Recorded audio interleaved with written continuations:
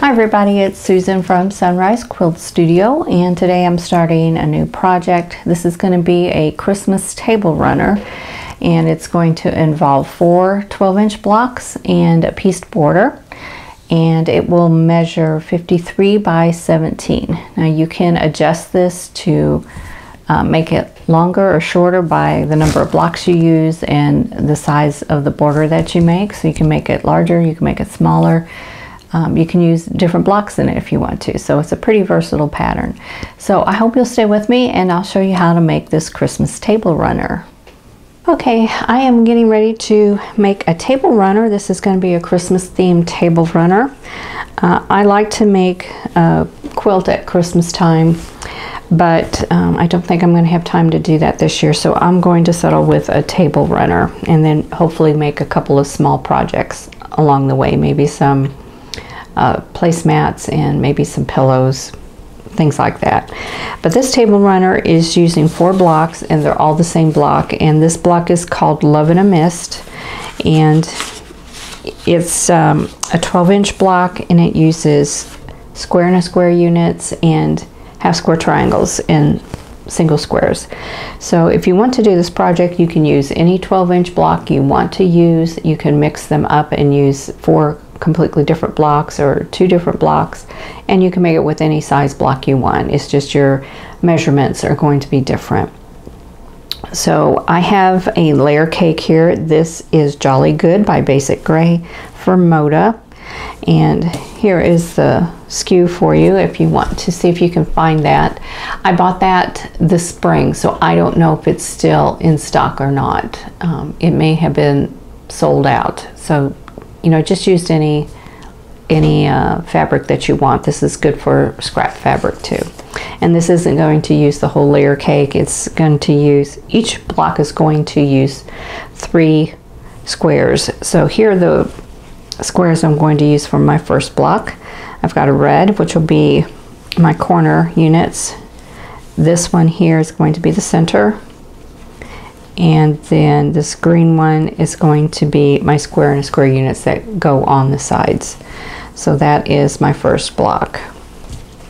And then I'm going to make two red and green blocks and then I'm going to do two blue blocks. So they're going to use different fabrics too. So let's see if I can find those. Okay, I went ahead and pulled the other fabrics so you can see those. For my other red and green block, I'm going to use this red dot and this green here. And then the center piece will be the same as this block. I'll use this one here. So I'll get two pieces out of that. So this block will have these three fabrics in it. And then for the blue and white blocks, they're going to share the same center too. They're both going to use this as the center and then one block will have these two fabrics. So we'll have that. And then the other block will have these two fabrics. So have, have this look here. So we've got four blocks to do and as you can see this you still have a lot lot left over. And I am going to use some of those for the border. So we'll be cutting pieces from them. And um, then we'll still have more left over so we can make other projects from this. So I hope you'll stay with me and we'll get started making the Love in a Mist block Okay, to get started on the Christmas table runner, we need to make four Love in a Mist blocks. So here are the fabrics that you're going to need for one block. And I'm um, just giving you the, the, the measurements for one block, the number of pieces for one block, I should say, because you're, you can make these all out of different fabrics, which is what I'm going to do. So if you want to make every single block the same, then you'll need to multiply these numbers by four. But for the Love in a Mist block for piece number A, you're going to need four three inch squares. For B, you'll need four two and a half inch squares. For C, you'll need four four and a half inch squares. D will be one four and a half inch square. E is four three inch squares, and for F, you'll need 24 two and a half inch squares. And you'll need to draw diagonal lines on the wrong side of the E fabrics on 20 of the F fabrics. So all but four we'll need a line drawn on the wrong side. So I'll adjust the camera and we'll get started sewing. Okay, we're going to start by making half square triangles and we'll need the A and the E fabrics for this. Okay, I have drawn my lines on the wrong side of the E squares and we're going to put them right sides together. And you're probably hearing my dog in the background. She's in here with me again today.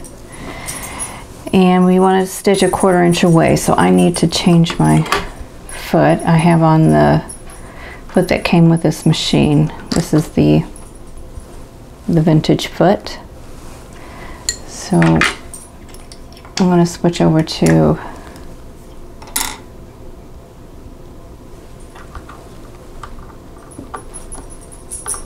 This is the my modern quarter inch foot and this is a Singer foot. It comes with a snap-on lower there. Okay, let's sew a quarter inch away on both sides.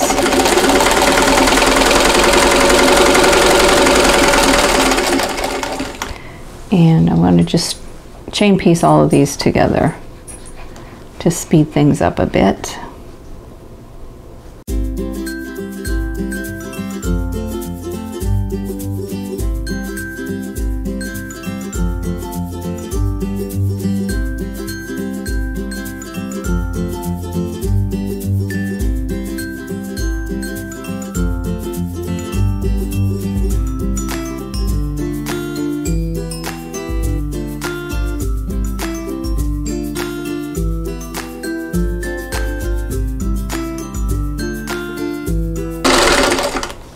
I'm going to cut these apart.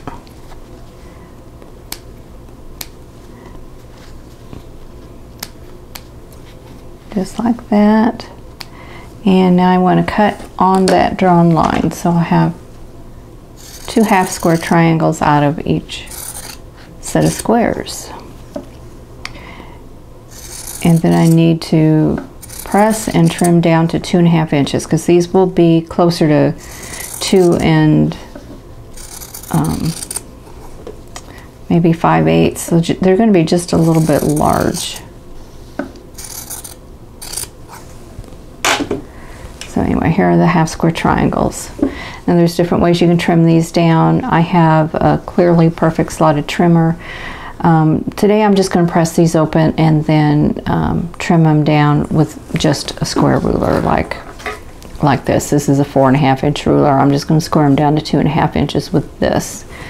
And I'm doing that because I'm finding with this pattern, um, and especially with the fact that, you know, this is a vintage machine. It's a little bit harder to do a scant quarter inch with this machine. And so my units are turning out to be less than four and a half inches, which is what they need to be. So um, I want to keep things as close to four and a half as I can. So I'm going to do this by pressing first and then trimming down.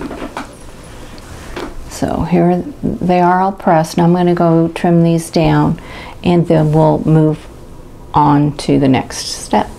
Okay, the next thing I need to do is to make four patch units with these half square triangles. So I'm going to take these and put them into two sets of four. I'm going to face them all in the same direction. So here's one set of four. And here is another set. And move the camera so we can see a little better. Here we go. Okay now I need these to face each other like this at the diagonal. And then in this corner I need to put the B squares. So there's four B squares. And here I need four F squares. So I'm going to take four of them off of my stack of 24 and these do not have diagonal lines on the wrong side so those go there So this is what we're going to sew. So I'm going to sew them into rows. I'll have two rows, uh, a row of this and a row of these, and then I'll sew those two together.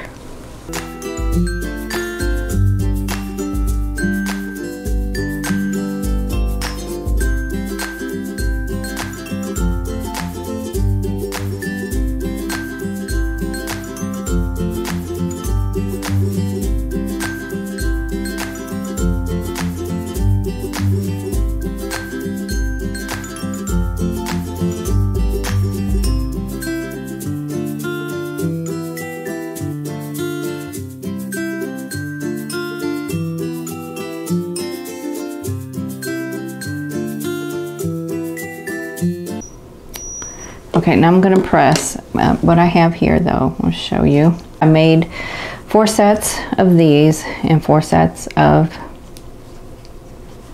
these. So now I need to put press these and then sew them together. So I'm going to press towards the solid square. So the white one on this one and the teal one on this one. Okay, so now I'm going to sew these together. And I'm just going to nest those seams together.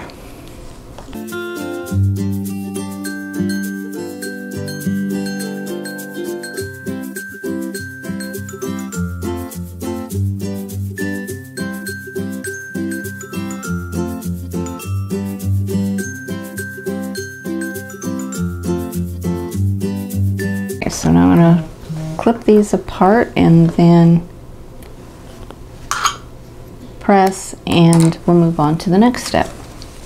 Okay, so here is our corner units.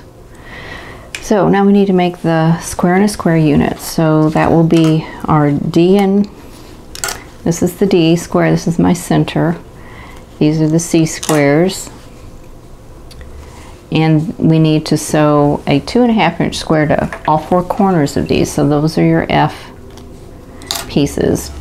Now, um, if you want, you can draw a diagonal line on the wrong side, which is how I have it written in the directions. I'm just going to follow my seam tape here. And let's see if this will hold out. So I'm going to put an F square in the corner and I'm going to sew from corner to corner and I'm going to do a scant quarter inch. And what I'm doing is I'm following the left edge of my tape with the point of the F square and I'm just going just a little bit to the left of that following to the left of that um, to get me a scant quarter inch. So I'll just chain piece all of these together.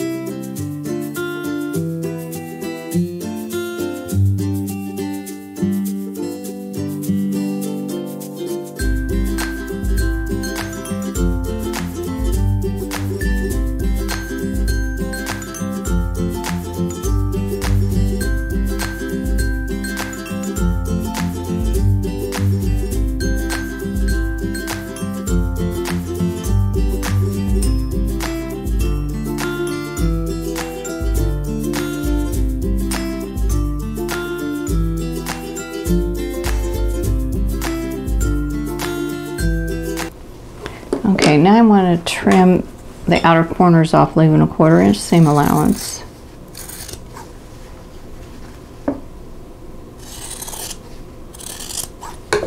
And then this is what I have when I open them up. Okay, so this is half of the square in a square unit. So I need to press these before I move on to sew on the other two squares. Because those the squares will over overlap these current squares. So I have to get everything pressed first. Okay, so now I'm ready to sew on the squares to the last two corners of each piece. So I'm going to chain piece all of these together too.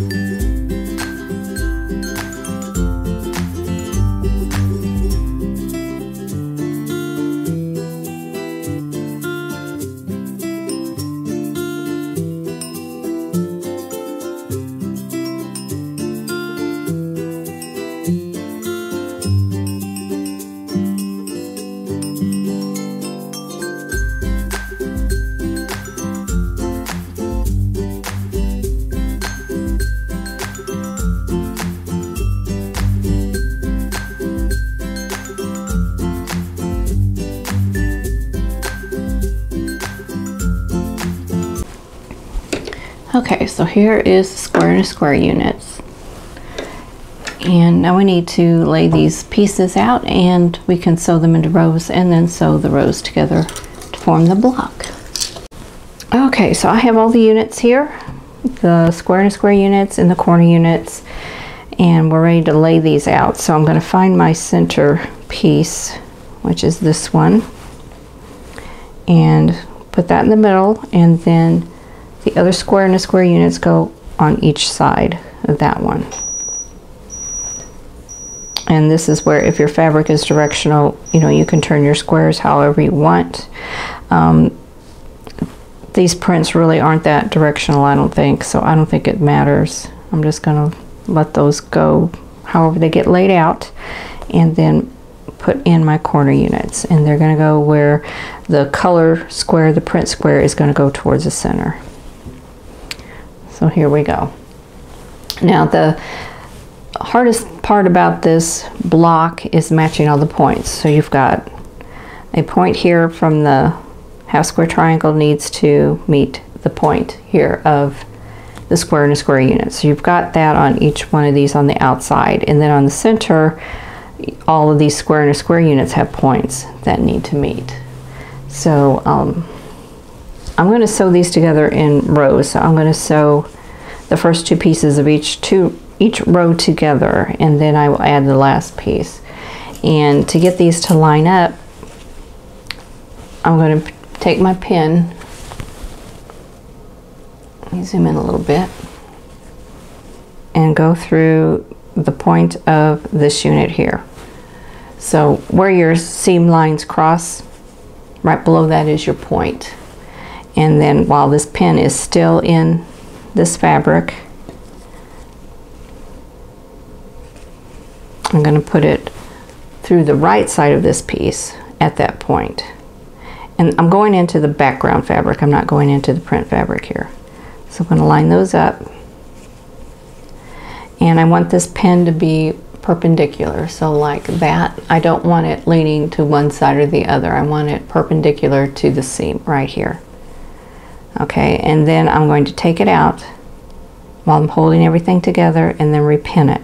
Now if I don't do that, if I left it pointed, if I left the pin in and then just slipped it under like this and then just went this way, it would slide this piece up a little bit and then it's going to throw off what I've just done with matching those points. Now from this point I can match my ends and this will help with any fullness I may have between the ends and the center. And it'll keep them from sliding around too. Of course you can do all these adjustments while you're sewing too. So you don't have to do all this pinning if you don't want to. But there we go, and this one's ready to go. So I'm just going to lay that one back on the table and then I'm going to pin all the rest of the first two pieces. I'm going to go in to the point there and here. I'm lining up. I'm not worrying so much about the raw edges at this point. I just want these two points to be together and I want that pin to be perpendicular. Now I can worry about the raw edges lining up. And I'll pin those. And these pieces, luckily for me, they they came out to be the same size, so okay. So those are ready. And I'll pin this one and then we'll start sewing. So I'm going to go ahead and sew all of these together and then I'll add the last piece to each row and I'll press the rows and then I'll sew the rows together and I'll do the same thing with the pinning method. I'll pin everything together and then sew it.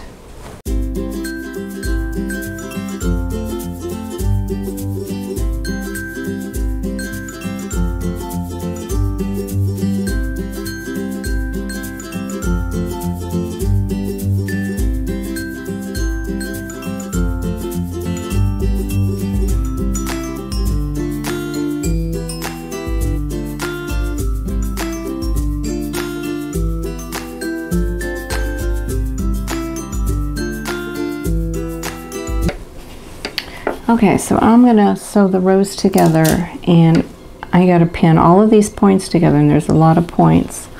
So I'm gonna start in the center and then work my way out to the sides. But taking the time to do this is um, a time saver actually in the end.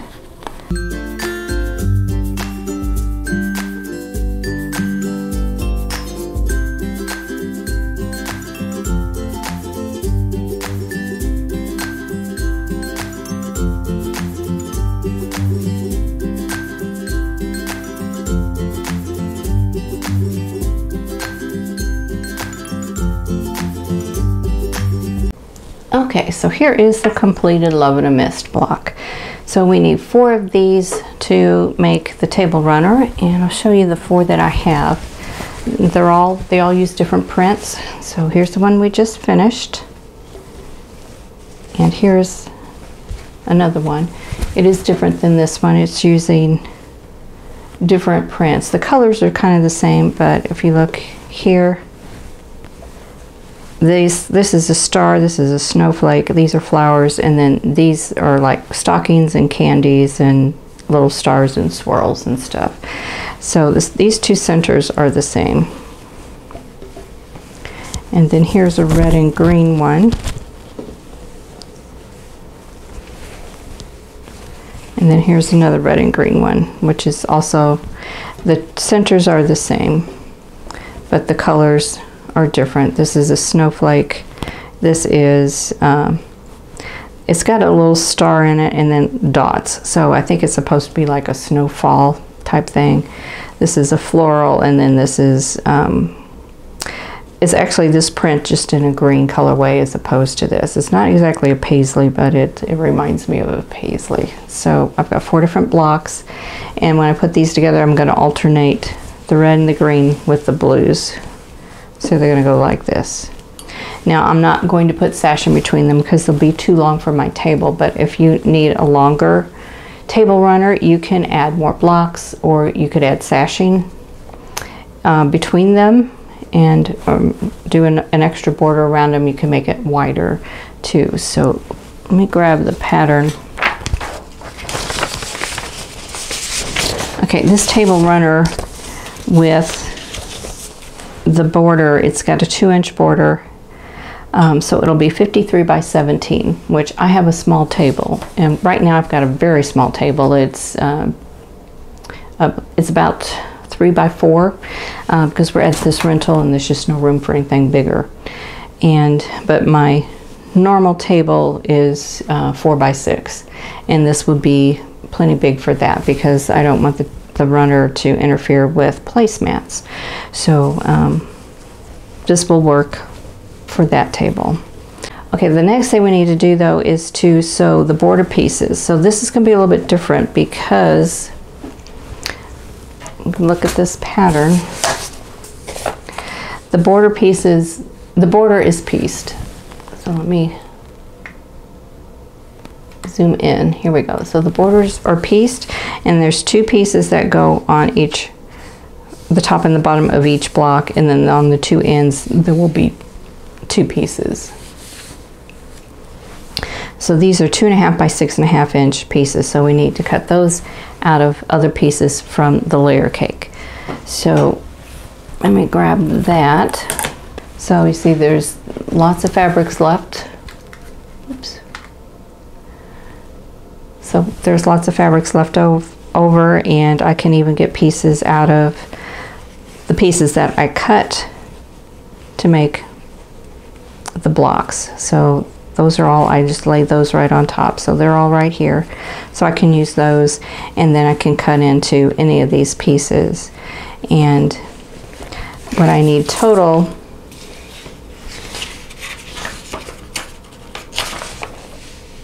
is I will need 20 rectangles. So 20 from, it's saying to use, cut 20 rectangles from 20 different 10 inch squares. So you can have um, a different print for each one. So if you don't want to use any of the prints that you used in here, you know, you can go to the other pieces. So there's lots to choose from And you can cut two and a half by six and a half inch rectangles. And you'll sew those together and then you'll sew sew them together in sets of two. And then you're going to sew those to the top and the bottom of each one of your um, squares. So I'm going to go ahead and cut out my fabrics and um, then I'll show you how I'm going to sew those together. Okay, I went ahead and I cut out my two and a half by six and a half inch strips. This is the first block. This will be the one on the left. And so I have two pieces for the top and I have two pieces for the bottom and I have two pieces for the sides. And then I went and cut four two and a half inch squares, which these will go in the corners right here, like that. So I'm going to sew all of these into pairs and then I'm going to sew them to the blocks. Now the two end blocks are going to have pieces on three sides. The other blocks, like this one here, which would be the third block, is going to have just these strips on the top and the bottom. So I hope that makes sense. But I put each block out and I picked four pieces to go with it and laid them out and um, just watched for the block that they were going to lay against to make sure I didn't have two pieces of the same or the same colors next to each other. Like these two blocks will not go to each other because I'm doing a red, blue, red, blue. So um, this is this will work fine. So I'm going to go ahead and adjust the camera and I'll start sewing all of these together. Okay, so I am ready to go. I'm going to do the two side pieces first. And just sew quarter inch seam allowance, sewing on the short ends.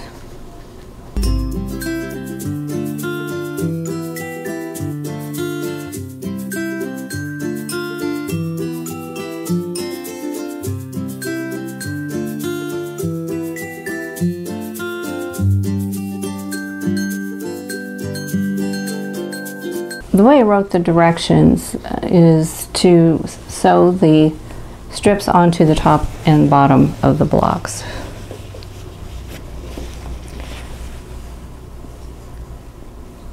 So this looks like this will work fine. And what you can do, you can pin if you want.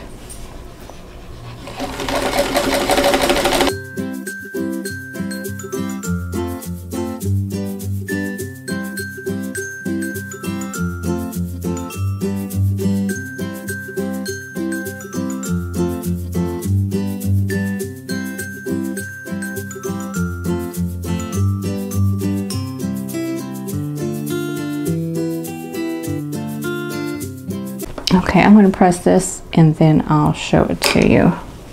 Okay, so here we go. See, I can't get the whole thing in there, but here's the top and there's the bottom. And I'm going to go ahead and sew the side piece on. And to do that, I need to sew these two of these squares onto the top and the bottom. So it'll look like this. So I'll go ahead and do that.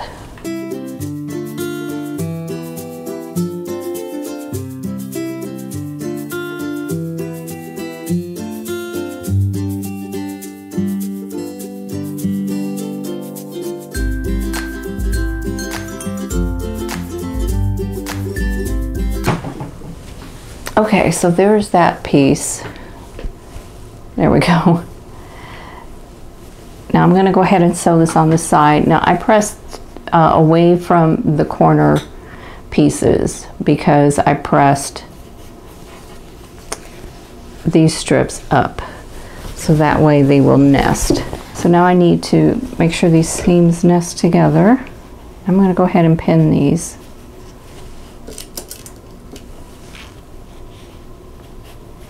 Just at these two seams.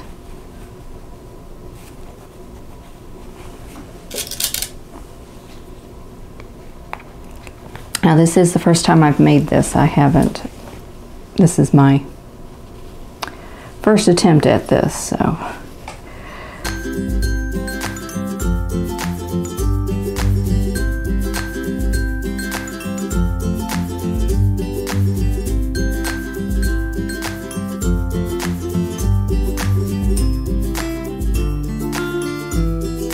So here we go. There's the side.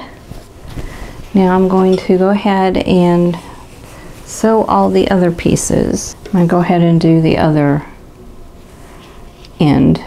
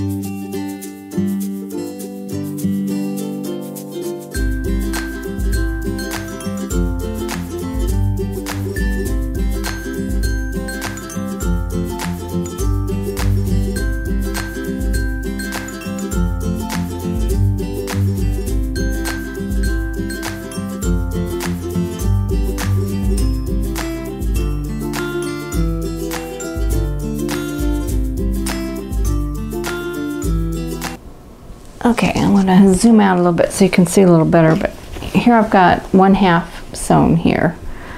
Um, this is the right half. So I sewed those two sections together and then this is the left half. And that's sewn together. I just need to press the seam and then I'll sew these two sections together. It's just a little easier to manage this way. And then I'm going to sew these two together and I'm going to pin the seams, match the points.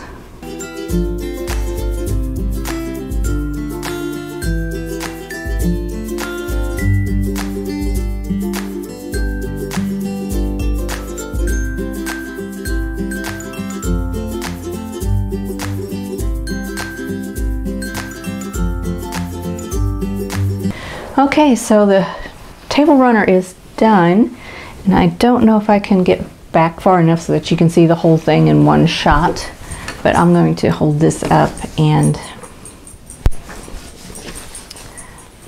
and kind of just run it through so you can see. So here's the table runner. So I'm pretty happy with it. Um, if I had to do it over, um, I might change arrangement of some of the border pieces. But other than that, um, I think it's pretty good. So, um, there we go. And this, this is one of the times that I miss having a uh, design board. I think that would have helped with this one.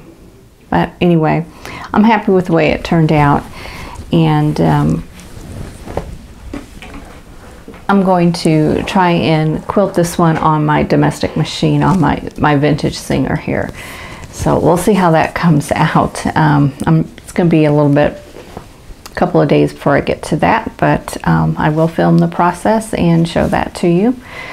Um, I'm not going to do anything fancy because I am not that talented on quilting on a domestic machine. I'm a long arm quilter and my long arm is still in storage and probably will be for another year. So um, until we get the new house built, it's going to stay there in storage. But once the house is built, we'll have it put up and it will, I'll have it available to use. So I'm looking forward to that. So I hope you enjoyed this video and if you did please click that like button. Don't forget to subscribe if you haven't already and click that notification bell so you'll be notified when the next video comes up. And in the meantime I hope you're all staying safe and healthy and I'll see you in the next video. Thanks for watching. For more quilting ideas, click on the video links. And to keep up with my latest projects, click on the subscribe button. I hope to see you again soon.